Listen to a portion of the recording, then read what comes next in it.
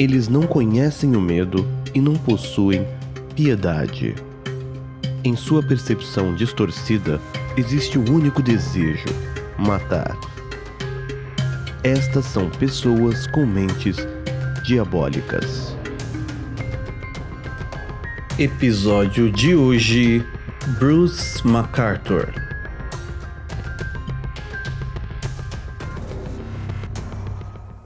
Nascido em 8 de outubro de 1951 em Lindsay, Ontário, Canadá, Thomas Donald Bruce MacArthur é filho de Isley e Malcolm MacArthur. Ele também tem uma irmã chamada Sandra. A sua família viveu durante a maior parte da sua infância em Airdale, uma pequena vila localizada na zona rural de Manitoba. Seus pais eram muito religiosos, mas tinham religiões diferentes entre si. A sua mãe era católica irlandesa irlandesa e o seu pai presbiteriano escocês, o que causava discussões entre eles. É dito que o Bruce era mais apegado à sua mãe e a defendia, e sentia que nunca conseguia agradar ao seu pai, que frequentemente cometia abuso verbal com o filho, fazendo chacota alegando que ele não parecia homem. De fato, desde que começou a se interessar por alguém, o Bruce diz que sabia que era homossexual e acredita que o seu pai de alguma forma forma percebeu isso, porque sempre que ele podia, ele fazia piadas de cunho homofóbico, tentando de alguma forma sempre atingi-lo, o fazendo se sentir mal, principalmente quando ele tomava partido da sua mãe nas discussões entre os dois. Com o tempo, o Bruce começou então a tentar de alguma forma reprimir o seu interesse por meninos, tentando ser quem o seu pai queria, um filho considerado, entre aspas, homem de verdade. E ele colocou na sua cabeça que ter desejos por outros garotos era algo extremamente errado. Lembrando também que ser homossexual era crime nessa época no Canadá, onde quem tinha relações consensuais com pessoas do mesmo sexo era preso por atentado violento ao pudor. Então, esse comportamento do pai dele era consideravelmente comum de acontecer. Os pais do Bruce eram conhecidos na cidade como educadores de crianças. Isso porque famílias que tinham problemas com os filhos rebeldes os enviavam para casa dos MacArthur, para que recebessem assim uma boa educação e fossem endireitados. Essas crianças ficavam por anos aos cuidados deles, até mesmo 10 anos, apesar de serem rígidos, não se sabe sobre nenhuma reclamação de quem foi criado por eles. Quando criança, o Bruce estudava em uma escola pequena, comum em zonas rurais, onde há apenas uma sala de aula. Lá, ele era considerado um garoto quieto que não costumava se misturar com os outros meninos, principalmente na hora em que eles planejavam alguma brincadeira para atrapalhar a aula. O Bruce era visto como aquele garoto que sempre estava ao lado do professor, o que fazia tudo certinho, se saía bem nos estudos e ainda tinha uma voz boa para cantar, onde ganhou inclusive algumas competições de canto. Quando não estava na escola, ele ajudava os seus pais na fazenda, sempre foi visto como um menino tranquilo e a família em si sempre foi vista como quem não chamava atenção e sempre concentrados em seu trabalho. O Bruce só parou de trabalhar na fazenda quando ele foi para uma outra escola, onde ele concluiu os estudos em 1970. Nessa escola, ele reencontrou e se aproximou de uma velha amiga de infância, uma garota chamada Janice Campbell, com quem ele começou um relacionamento, ainda tentando reprimir a sua sexualidade. Nessa época, também é dito que ele se formou em administração, um curso que seria como um técnico, já que não era uma faculdade faculdade em si. Quando ele tinha então 20 anos, o seu pai foi diagnosticado com um tumor no cérebro e foi internado numa casa de repouso porque ele precisava de enfermeiros cuidando dele o tempo todo. Mesmo com todo o abuso psicológico e verbal que ele sofreu com o pai, o Bruce demonstrou nunca ter guardado rancor nenhum sobre essa época da vida dele, se aproximando muito do pai durante todo o período da sua doença e acabou na verdade verdade, se distanciando da sua mãe, porque ela iniciou nesse período um novo relacionamento. Em 1973, o Bruce se casou com a sua até então amiga Janice. E é importante lembrar também que pouco antes disso, entre 69 e 70, ser homossexual deixou de ser crime no país um momento que futuramente teve ligação com a trajetória de vida do Bruce. Mas antes de falar sobre isso, voltamos à vida dele. Ao terminar os estudos, ele conseguiu emprego como assistente de vendas em uma loja de departamentos em Toronto, onde ele trabalhou por cerca de 5 anos.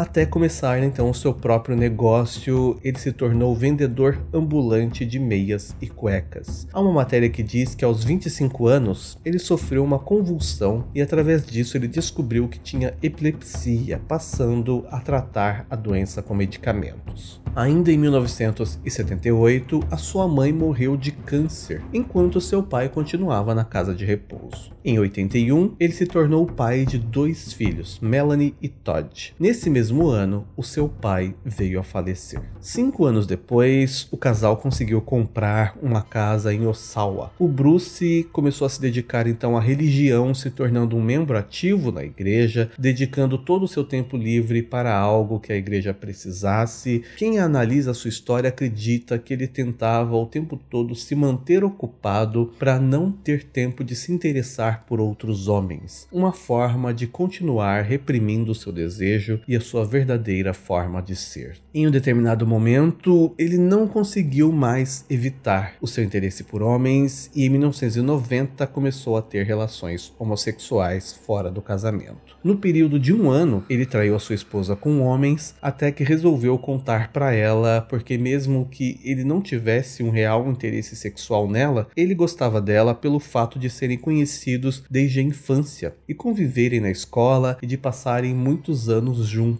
E agora, ser homossexual não era mais considerado crime, então ele achou que, pelo bem dele e da Janice, ela deveria saber o que se passava com ele por dentro. A sua esposa, então, mesmo sabendo das traições e da homossexualidade de Bruce, ainda aceitou que os dois morassem juntos para criar os filhos, já que ele sempre foi um bom pai e um bom marido. Os dois sempre se entenderam muito bem, pelo menos não se encontra nada contrário a isso quando se pesquisa sua vida antes dos seus crimes. Vizinhos também relatam que eles eram um casal muito tranquilo e só estranhavam o fato de que tarefas que normalmente eram feitas por homens, como cortar grama, eram feitas pela Janice e não pelo Bruce. Ela sempre era vista cuidando das coisas da casa, fazendo pequenos concertos, e o Bruce ainda trabalhava nessa época como vendedor. Porém, os negócios dele não estavam indo muito bem, as vendas tinham caído muito, a renda deles começou então a ficar cada vez menor e aos poucos pequenas dívidas começaram a se acumular. Aliado a isso, o seu filho Todd, quando se tornou adolescente, começou a ter problemas com a lei. Isso porque ele se tornou obcecado por fazer telefonemas para mulheres aleatórias que não conhecia, onde ficava dizendo coisas de cunho sexual para elas. E essas pessoas, obviamente, faziam denúncias à polícia, que frequentemente visitava a casa do Bruce, orientando sobre os problemas que o filho poderia ter por causa desse hábito. E isso também forçou o Bruce a ter gastos com processos e advogados para que o filho não fosse preso, mesmo que ele tenha sido preso anos depois, já adulto, ainda por causa disso, passando mais de um ano na prisão.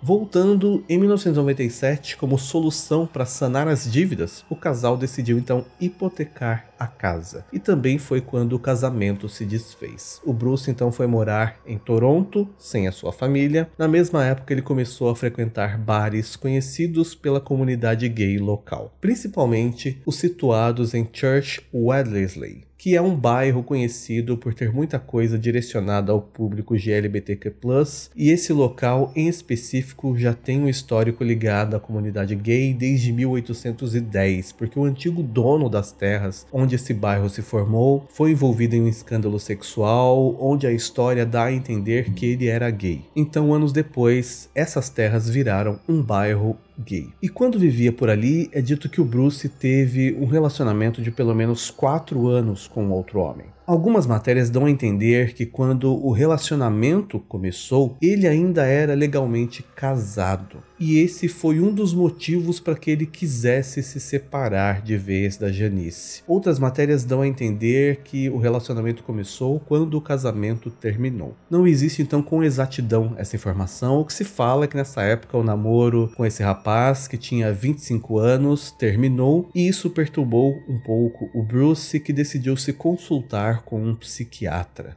que é também um momento que não fica claro o motivo exato dele ter procurado o psiquiatra. Se foi alguma dificuldade de lidar com o fim das duas relações e uma depressão, ou se já havia algo na cabeça dele que ele mesmo entendeu que pudesse culminar nos fatos que se sucederam. O que aconteceu é que após algumas consultas, medicamentos foram receitados para ele, mais precisamente o Prozac, que é um antidepressivo. O Bruce então queria mudar completamente de vida. Ele decidiu assumir a sua sexualidade, mudou de profissão, estava procurando emprego agora como paisagista, e algumas matérias citam que no final do ano ele também fazia bicos como Papai Noel de shopping. Nessa época ele morava em uma espécie de pensão, onde ele dividia a casa com mais três homens, ainda tinha contato com a ex-esposa e também com os filhos, inclusive o Todd, o seu filho, o visitava sempre, tinha até uma cama para ele lá. E uma das noites que o Todd passou na casa do pai, ele descobriu que o pai tinha fotos eróticas de homens nus, a maioria de indianos e outros locais da Ásia. O Todd chegou a comentar com o pai sobre isso e o Bruce apenas deu risada porque ele não tinha mais nenhuma intenção de esconder que era gay.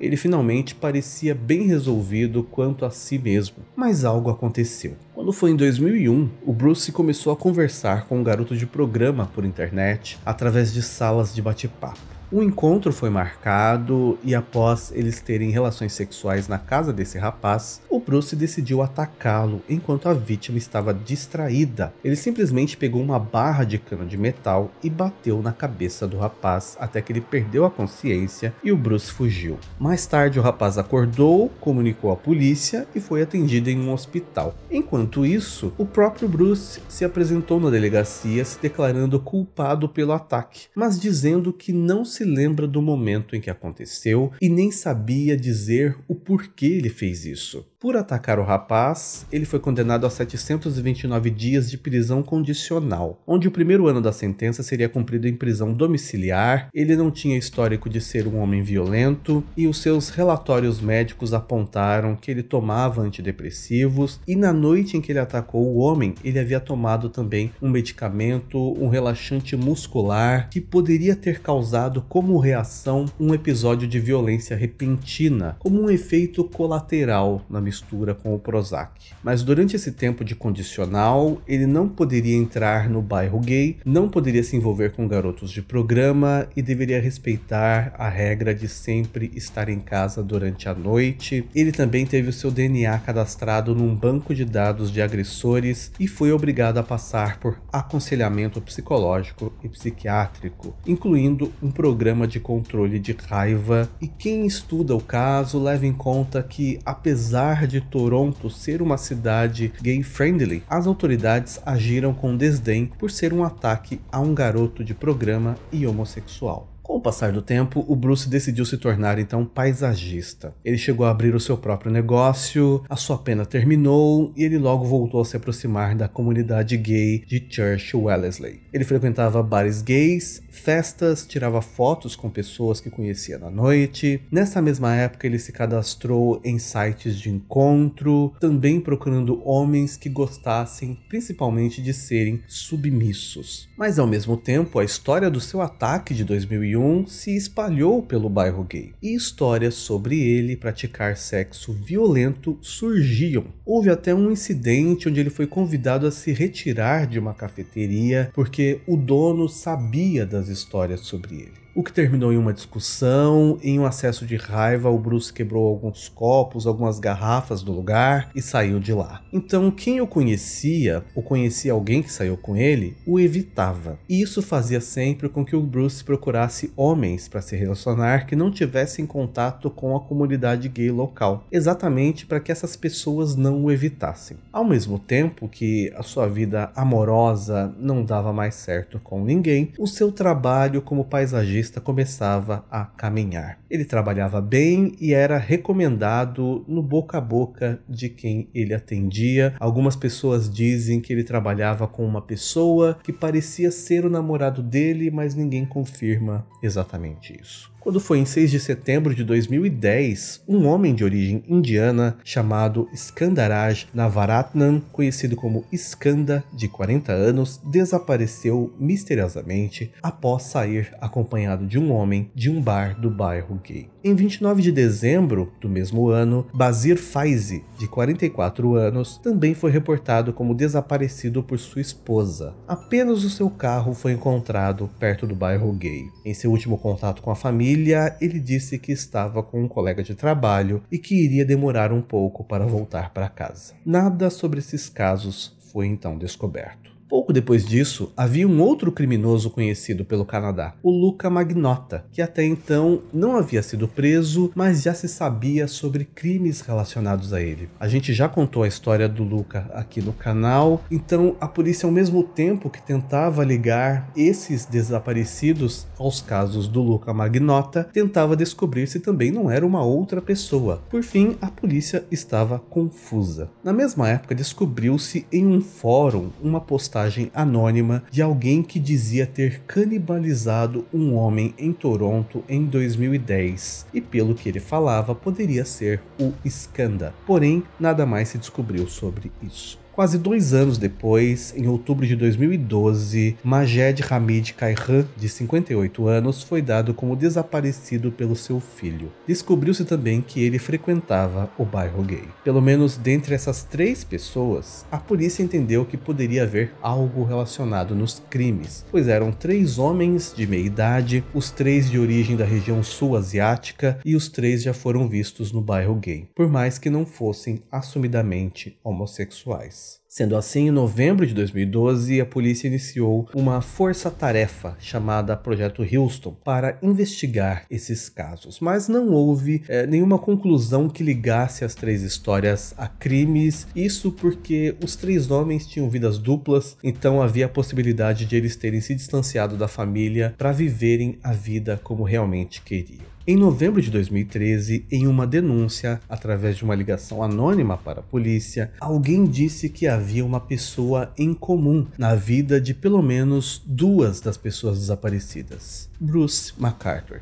Ele foi procurado pela polícia e prestou depoimento dizendo que conhecia os dois homens, o Skanda e o Hamid, que chegou a ter contato e relações sexuais com eles, mas não era nada frequente. A polícia também não conseguiu encontrar nada suspeito, até porque naquele momento não se sabia nem se os homens estavam vivos ou mortos, porque não se tinha achado nenhum corpo. Nessa época também, aquele ataque de 2001 com a barra de ferro que o Bruce tinha cometido havia sido apagado do seu histórico, porque durante muitos anos ele não havia cometido nenhum outro crime, aquele foi considerado um crime leve em decorrência dos medicamentos que ele tinha ingerido, e a lei até então permitia que ele pedisse essa espécie de perdão, digamos assim, do governo que foi concedido para ele. E não ter nenhum histórico como agressor o ajudou a sair da mira da investigação policial. Ainda mais depois que descobriram que ele trabalhava como Papai Noel de shopping atendendo criancinhas no Natal. Por fim, o projeto Houston não conseguiu então descobrir nada e terminou em 2014. Entre 2015 e 2017, mais cinco homens desapareceram, todos com meia idade, imigrantes e que frequentavam o bairro gay. Nessa época, a polícia de Toronto já estava desacreditada pela comunidade gay, que entendia que os policiais não tinham interesse em resolver casos de desaparecimentos entre imigrantes e homossexuais. Em meio a essas pessoas desaparecidas estava Andrew Kisnan, que era o único que não era imigrante, mas era conhecido em meio à comunidade gay por trabalhar em uma ONG que ajudava pessoas com HIV positivo. Ele sumiu um dia depois da parada gay de Toronto.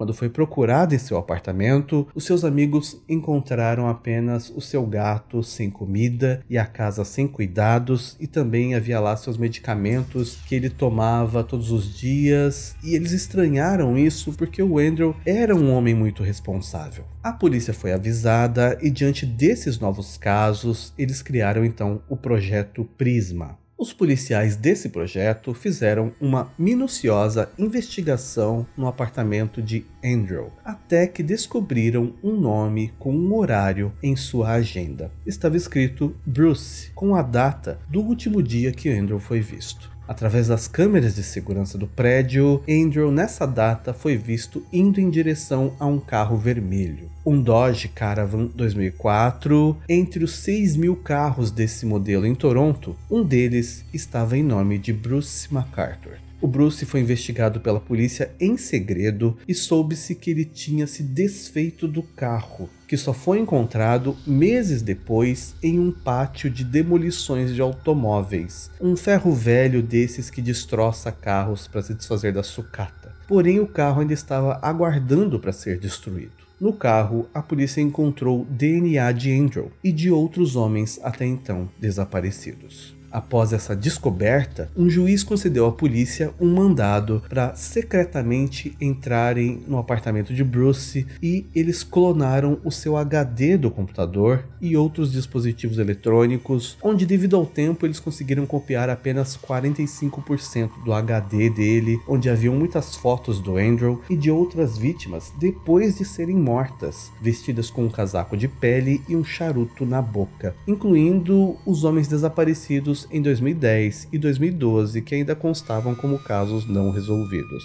Apesar disso, ele, o Bruce, não aparecia nas fotos. Então a polícia continuou vigiando o Bruce todos os dias, colhendo inclusive DNA dele no lixo descartado, e isso durou alguns dias. Quando foi em 18 de janeiro de 2018, o Bruce foi visto pela polícia entrando no seu apartamento acompanhado de um homem. Minutos depois, a polícia invadiu o local e encontrou esse acompanhante do Bruce amarrado em uma cama com um saco na cabeça. Nesse momento, o Bruce foi preso e levado para a delegacia. O seu apartamento foi completamente analisado e foi encontrado lá desde DNA a pertences de outras vítimas. Lá, a polícia também encontrou uma agenda onde Bruce registrou o endereço de pessoas que ele atendeu com o seu trabalho de paisagismo. Investigando esses endereços, em algumas das casas, a polícia encontrou restos dos corpos das vítimas enterrados em vasos de plantas, em meio à terra que o Bruce usava no trabalho de jardinagem,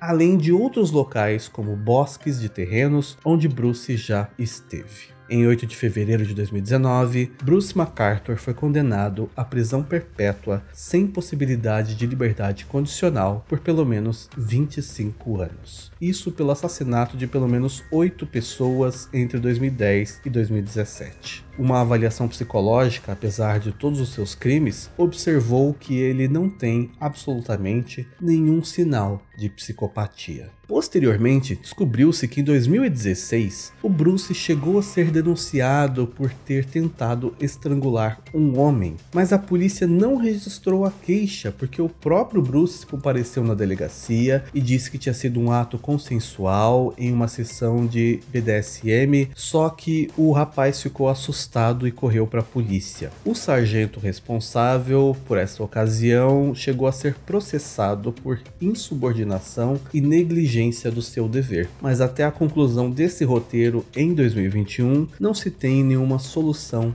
desse processo do policial que não registrou essa ocorrência. Thomas Donald Bruce MacArthur seduziu, atacou, tirou a vida e cortou em parte suas vítimas, descartando-as em vasos de planta onde fazia paisagismo. Bruce MacArthur é uma das pessoas com mentes diabólicas.